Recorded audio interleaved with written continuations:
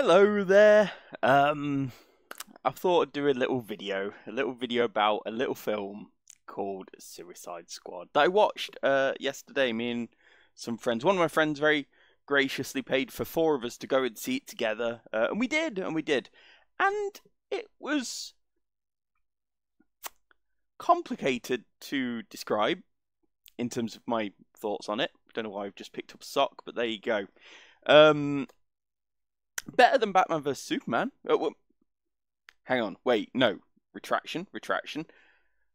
It was more enjoyable than Batman vs Superman. It was a better cinematic experience than Batman vs Superman. Um, I'm gonna first things first. Well, I guess second things first. Cause I've already done those things.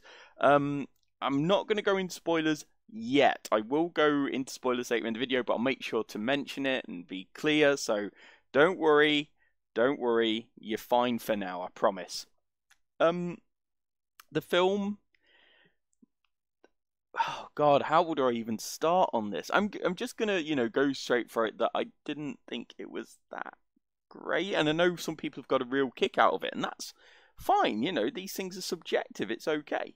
Um, for me, it's entirely possible my own personal bias came into play because I went in there expecting certain things to be flawed and I came out of it thinking those things were flawed, you know?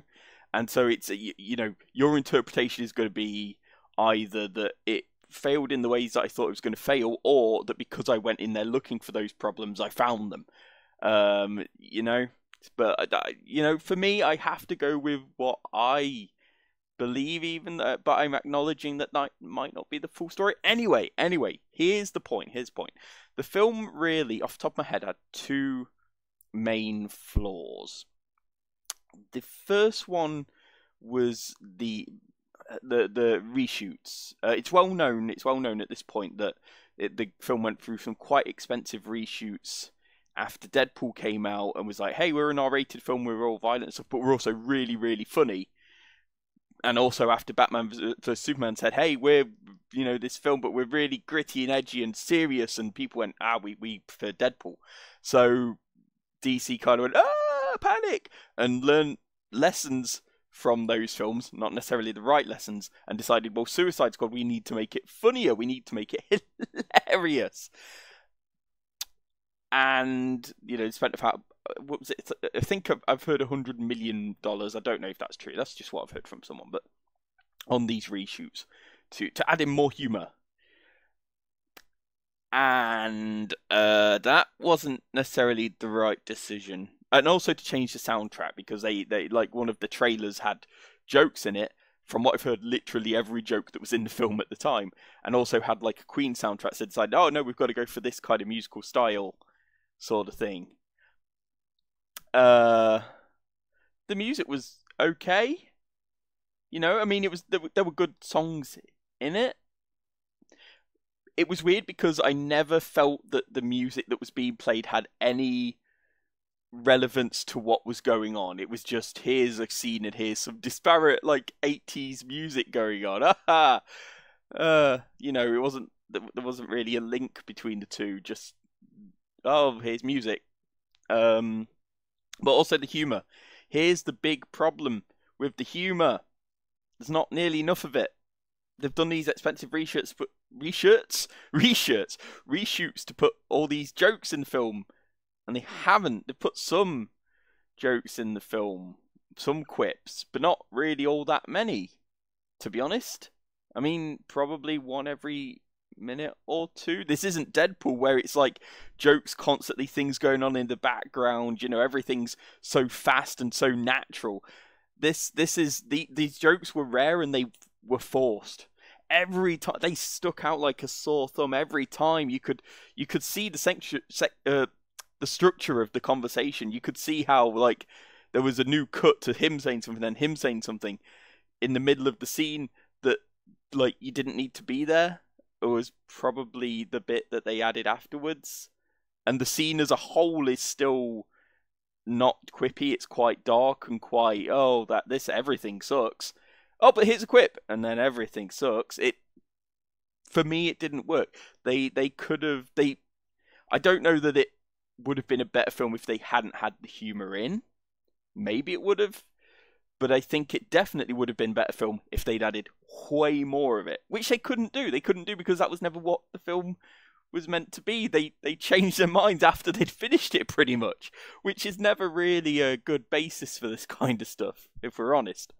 So the humor uh, maybe not the best approach. Uh, it, it should have been baked in from the start. It really should have. And they they you you can do gritty. You could do a gritty, dark, slow, intelligent superhero movie and have it be great. You know, Batman vs Superman could have been that film. This could have been that film, but they they learned the wrong lessons from Deadpool and Batman vs Superman. They go, oh, people just want quips.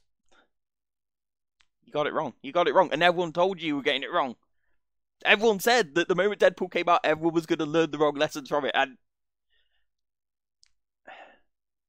the second problem, this is probably the deeper one.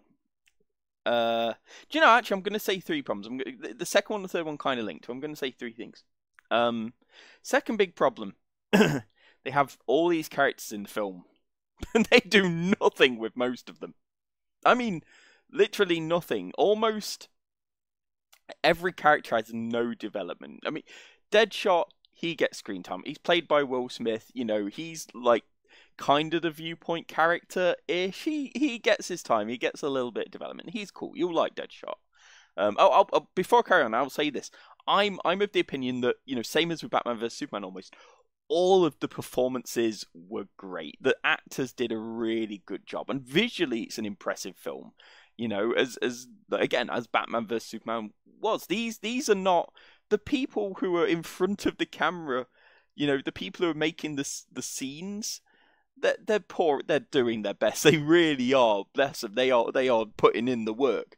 But ultimately, you can only work with what you've got. You know, you give Gordon Ramsay a tin of spam and a you know, a loaf of bread, he's not going to be able to make much more than spam sandwiches. You know, it doesn't matter how good he is. Jared Leto, bless him. No, no, I won't get to that. I won't get to that. Let's stay stay on target. Stay on target. You see, I'm doing the Star Wars thing. Sorry, my it's whatever. Um. So the yeah, you've you've got all these characters, and they do stuff with Deadshot. They do stuff with Harley Quinn. Uh, the Joker gets a bit decent bit of screen time, not a lot, but which is weird for reasons I'll get into later. And there's also I don't remember her name. I, th- I think it's Walker or Waller, but there's there's the lady who's sort of in charge of the whole. Uh, the actress, you know, the character who's in charge of the whole thing, the actress who plays her, she must be really happy with her role. She she must be. Oh, she did such a good job, and it's such a good character, and it's a shame it's in this. Uh, but that that that's about it. Those three and arguably Flag, Agent Flag. There, there's like maybe four characters that four or five characters that really get any kind of time. There's other characters. I mean, there's one who, uh, but for the most part, the characters are just there. They're just there. They do nothing the whole film, or very little. And that gets me to the third point, the third fatal flaw. This film is almost empty of coherent plot and, and coherent setup. Let me explain what I mean. There, there are, as I said, there's lots of characters in here who do almost nothing, or they'll, they'll do one thing. And the thing is, they'll do one thing, and it isn't that important a thing, and it's it it feels like the only reason they were in the film at all is so they could do that one thing. But that didn't need to be done. So actually no, strike it, flip it. It's like they had a character that they had absolutely no idea what to do with them. And so they hammed in like one thing for them to do that really wasn't that important. Just so they could have the character. And that happens so much in this film. There is so many things in this film. There's so many things that happen. There's so many like whole character like le- I'm not talking side characters. I'm talking main character members. I'm talking on the poster. I'm talking the reason you came to see the film. They're there from the start. They're there to the end. They do nothing. They don't. They do nothing. And I don't. I mean, in the plot, but I also mean from a cinematic point of view. They do nothing to enhance the film. They they they're not there. They don't serve some other purpose you know, uh, it, it, in a film, you don't just necessarily have to be the person who's driving the action, the person who's saving the day. You know, you can you can serve a, a purpose.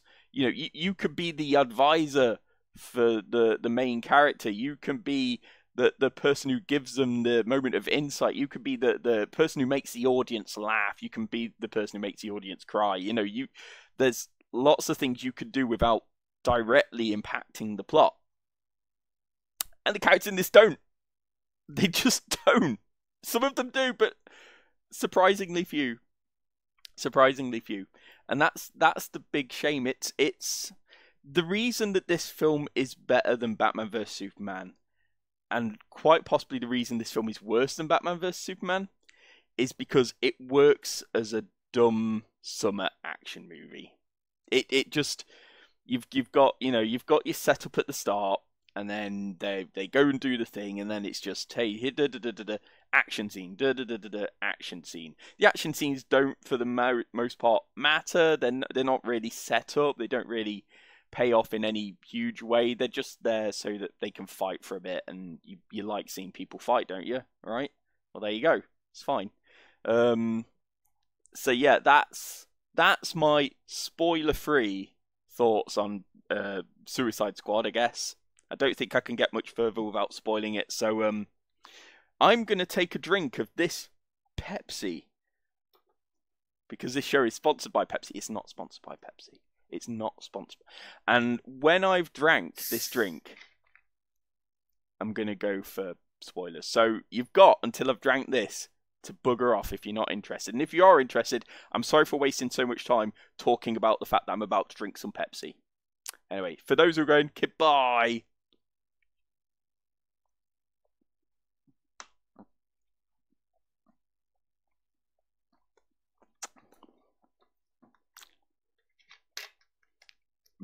Oh, pardon me.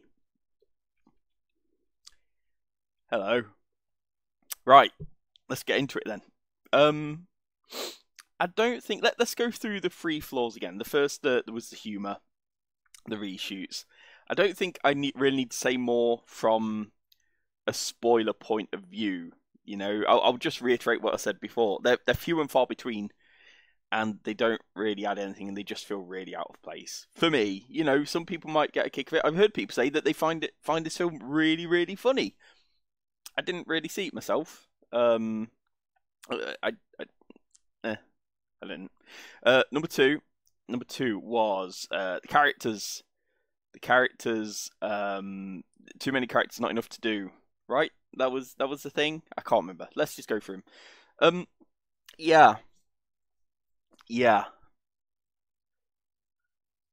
Captain Boomerang. His role in the film is one time he throws a boomerang with a camera on it so that the team can see around a corner before they go into a place. That's it. That's what Captain Boomerang does in the film. That is that is why he's in the No, hold on he does one other thing. He tries to convince the team that the bombs that they get given it put in them so that they have to obey orders are not real and it's just a bluff.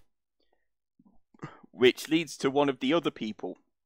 Uh, what, I don't remember his name. Slingshot. I, I, I didn't get his name. I didn't get his name because he, I think he's on the poster from what I've heard. I haven't seen it, but like, I, I think he's been marketed as kind of one of the main characters. He's really not. He comes in like all, all, all the main characters are introduced at the start. It's like here's here's here's this person. There they go. This person comes in probably about half an hour in, and five minutes later they're dead. You maybe hear the name once. I think that one or two lines, and basically Captain Rubo just says to that person, "Hey, these bombs are probably fake, so I'm just going to run away. Are you with me? And he goes, yeah, I'm with you. And then he tries to run away, and they blow him up, and he's dead. And now you know that the bombs are real, and now the characters know the bombs are real. That was the only purpose for that character to be in there, so that the other characters could know that the bombs were real, which they had no particular reason to doubt anyway. But also, I guess, so that the audience knows that the bombs are real, which we also had no reason. Actually, that's another flaw. I'll come back to that.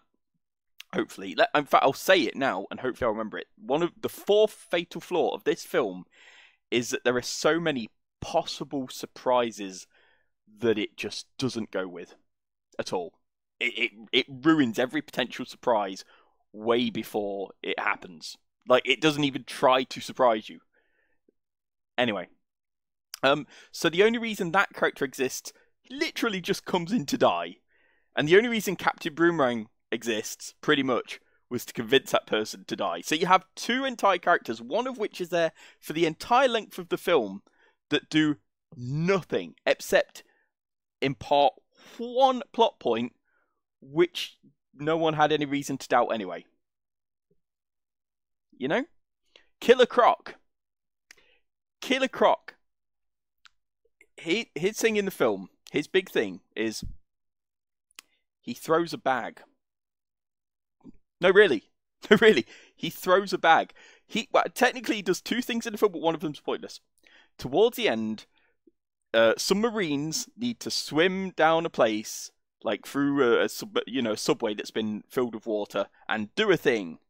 And he goes, no, no, no, I'm gonna help you do the thing. I'm taking off my stuff. I'm going. I'm swimming first. I, I, I live in the place. You're just tourists. Um, that's one of those quips. Did you, did you like it?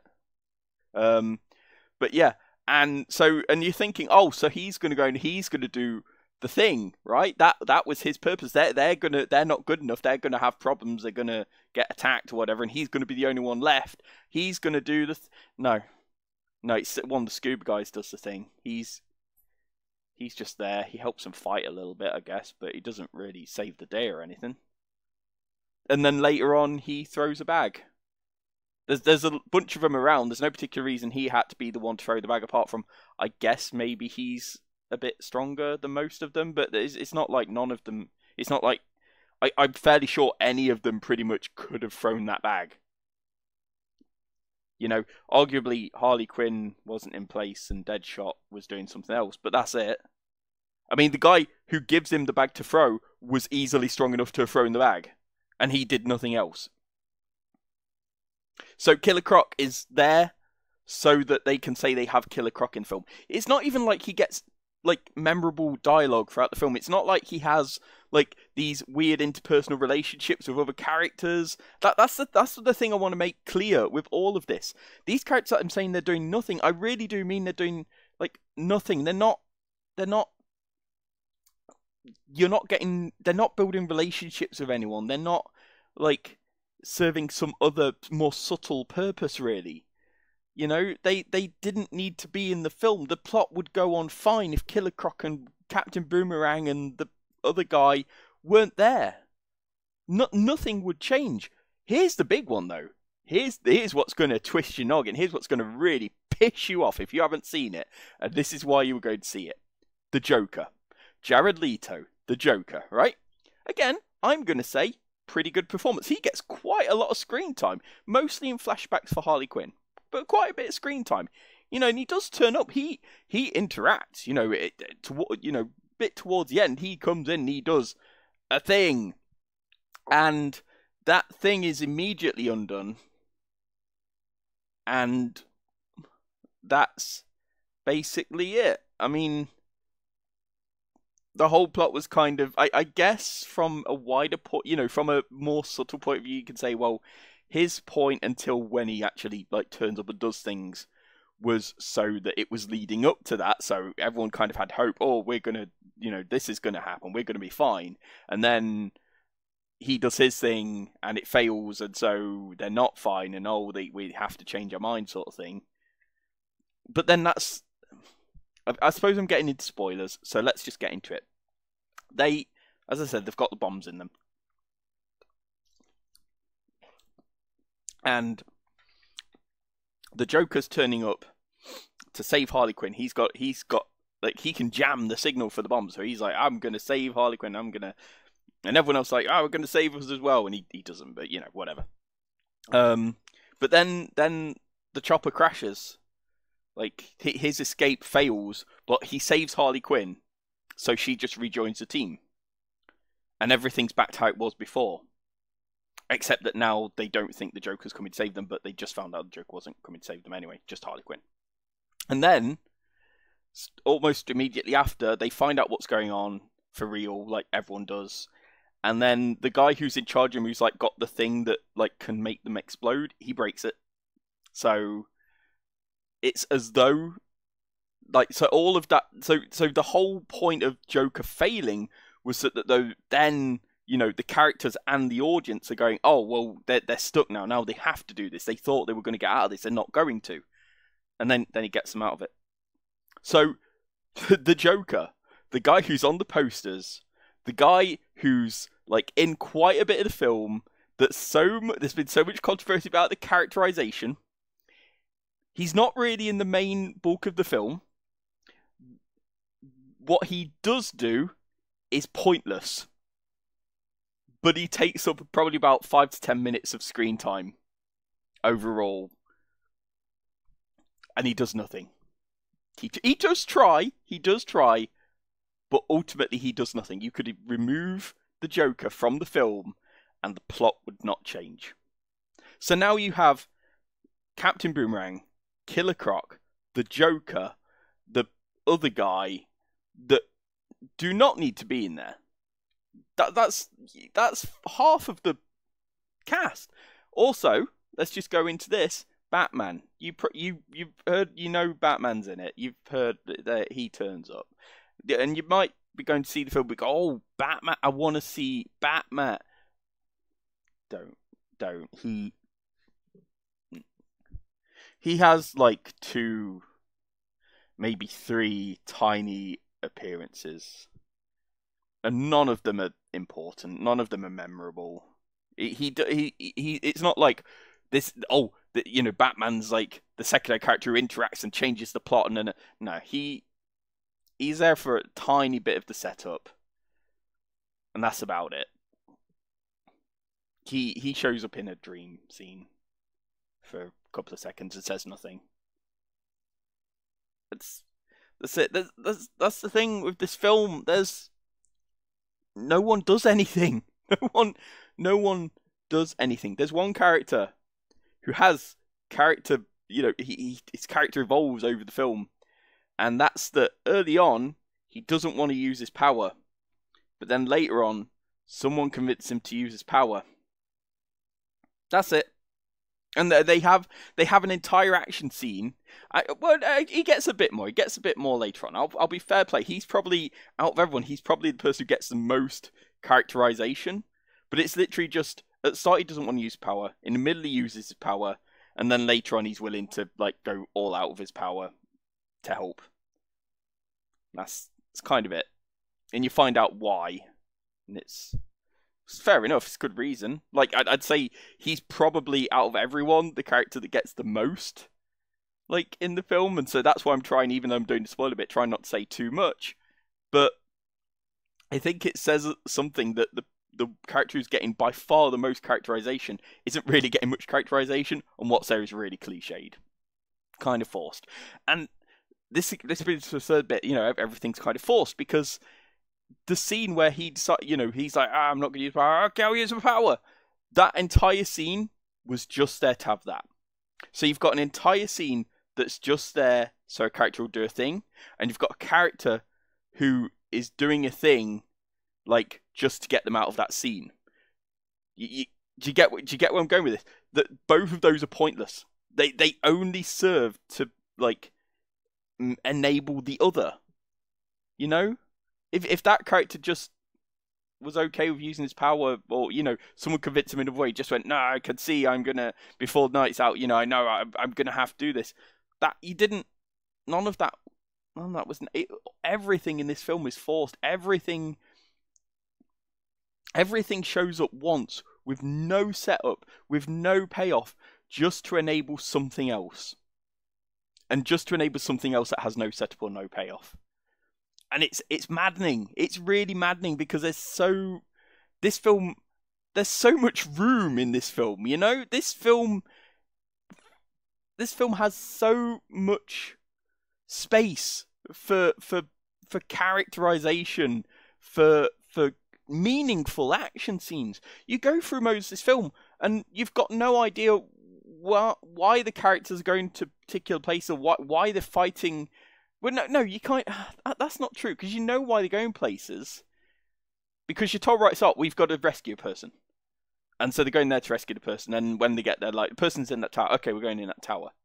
And along the way, there's bad guys that turn up, so they have to fight them and that that's there's no great there's no bigger motivation along the way there's no bigger setup you know you never feel that tension that you know oh we know that things are going to happen that the characters don't you know that kind of thing never happens it's such a oh god it's just missed opportunities all the way it's Oh, the more I think about it, the more it's infuriating me, which is kind of like Batman vs Superman.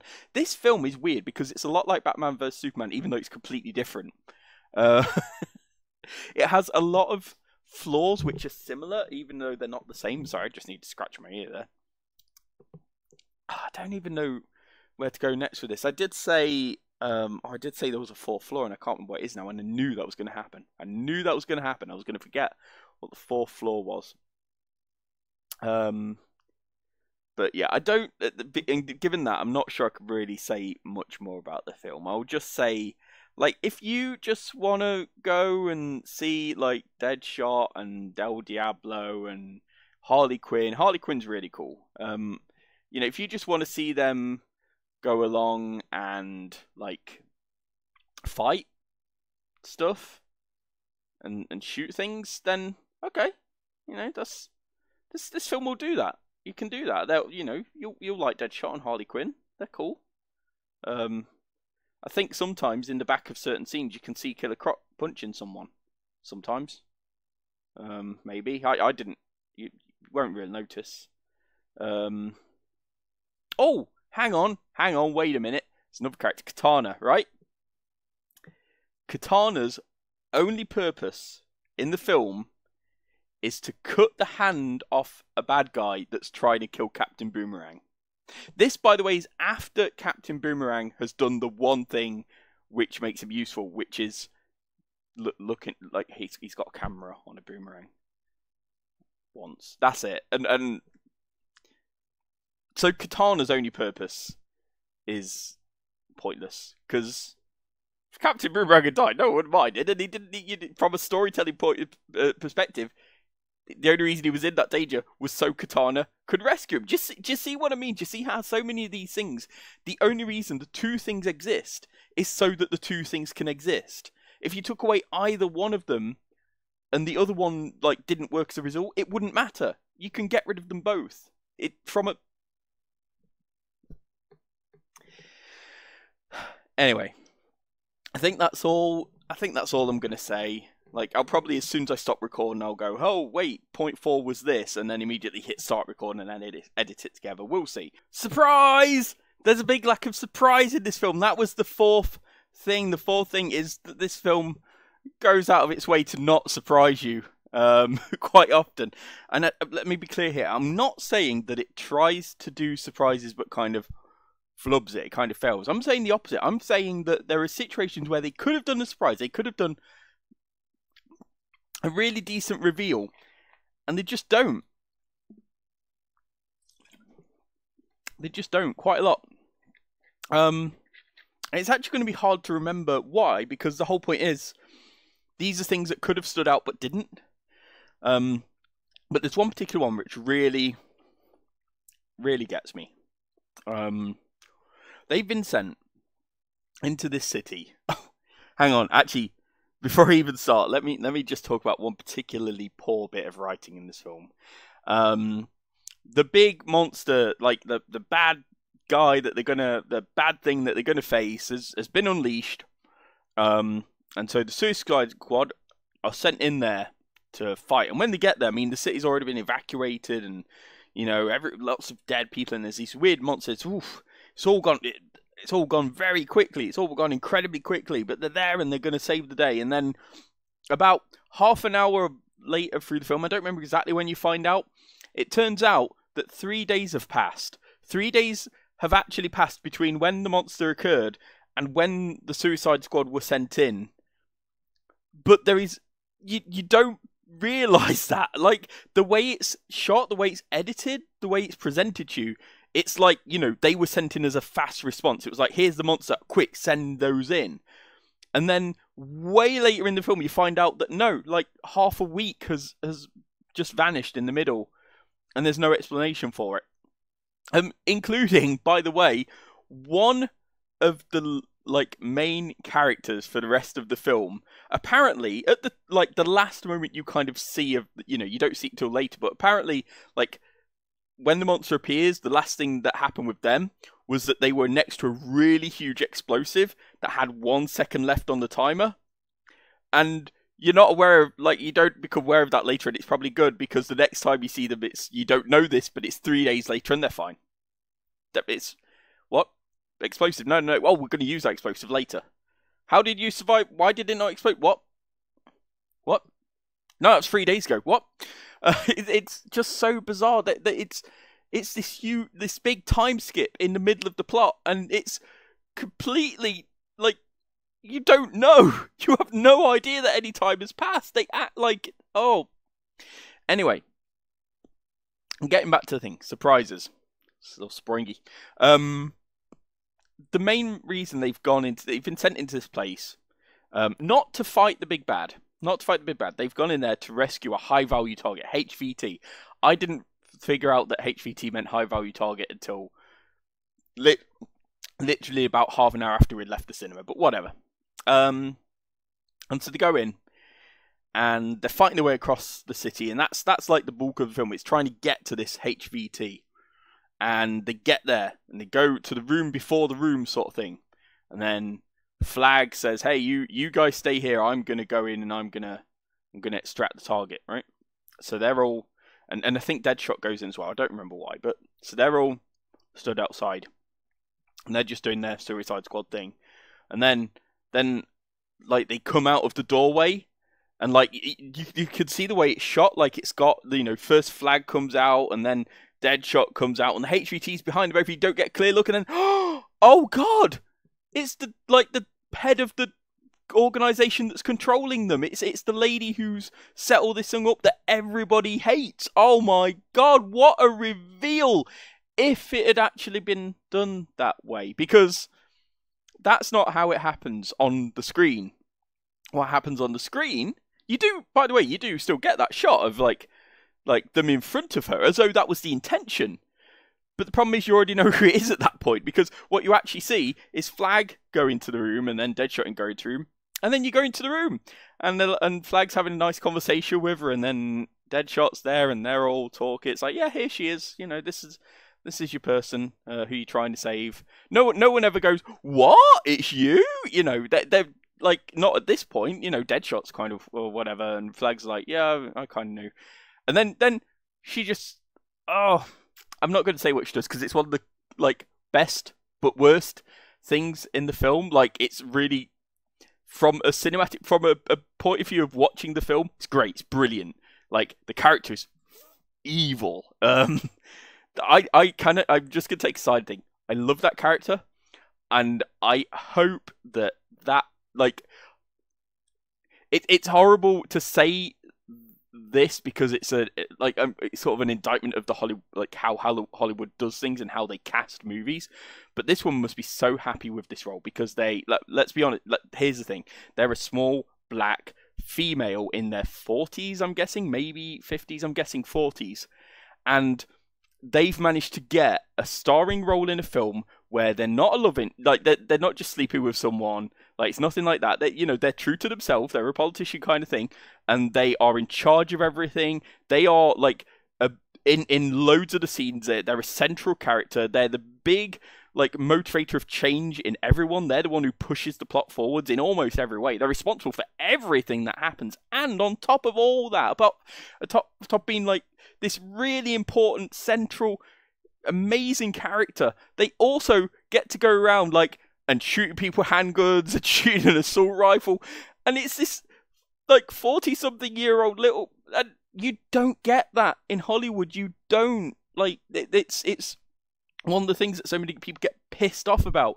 You're you're either a twenty, maybe arguably young thirty something woman who looks really attractive, and then you get the roles where you're the attractive woman, or you're like really old and you get the one where you're the the grandparent or a witch or something like that.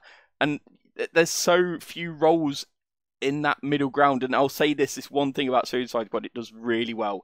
It gave it did something incredible with that role. It really did, and she deserves to be praised for being in that role, and the film deserves to be praised for having that role. Um, I, I, I hope she's really happy with the fact that she, she got it because like roles like that are unfortunately incredibly rare and it's it's good it's good anyway the point is she so she so the, she's been revealed to the audience and the audience is a bit like uh but everyone in the film in that scene is like oh yeah it's her and then like a minute or two later then she comes out and then you get the reveal shot for the rest of the squad but it's ruined because we already know exactly who it is. I just don't know why they did it. You've got the um I'm trying to think of things. Um this is not really the same thing, but it is a complaint I have. The, uh, it's because it's not a surprise, a missed surprise, but it is a missed opportunity because like I, I won't go into too much detail because we're talking ending stuff now, but Harley Quinn um, there's there's an enemy they face in this film who can do like mind fuzzy stuff. She can like cloud your mind, and she can also sort of um, like she, could see your thoughts, see your desires, and make you see them, and uh, something like that. Um, and Harley Quinn, like, so she, she she's kind of a mind reader. I don't I don't know if she could strictly read minds, but she must be able to because she can see your desires, right? So Harley Quinn decides to kind of fool this enemy. Um, and the enemy doesn't see it coming. Doesn't tell what's going on. And the thing is, the thing is, you could, you could very easily have, you know, worked around this because the whole point is Harley Quinn is crazy. She is messed up. She's having these hallucinations and flashbacks and things. It's really well done. She's really cool. She's insane, right? And you could easily, easily have done it that this, you know, the baddie could not read her mind, could not confuse her because, like, her mind is all twisted and wrong and she couldn't see into her thoughts. And that's why Harley Quinn was able to deceive her. And that's, that's not what happens. She can affect just like everyone else, but for some reason doesn't tell that she's lying. Don't know why. It's never explained There's so much in this film that's never explained. And and and this is like I'm not asking for a pandering film here. If, if you know, like I would love for this film to be more complex and more interesting than it is because it, it it's it just doesn't try to explain everything. It's not there's not much to explain. Um God, I don't know. I'm probably going to leave it there. I'm probably going to leave it there because otherwise it's going to be an hour long video, and it's already what pushing 40 minutes. Uh, and I can't really uh, like again. I, like there's a if you watch it, you'll see a lot of times when there's things which should have been a surprise but weren't at all, and they were never they never tried to make it, which is shame. Anyway, I'm off. I'm off this time. It's for real. Um, okay, nothing more to say. Okay, bye.